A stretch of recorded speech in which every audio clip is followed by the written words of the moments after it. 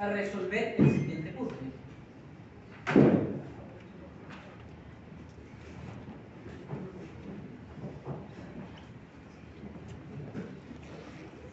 Por un lado tiene marcas en la garganta, como si lo hubiesen asfixiado con una soga.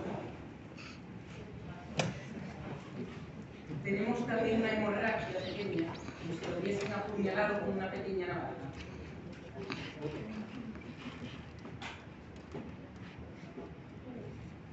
Pero parece que la causa del fallecimiento es el veneno.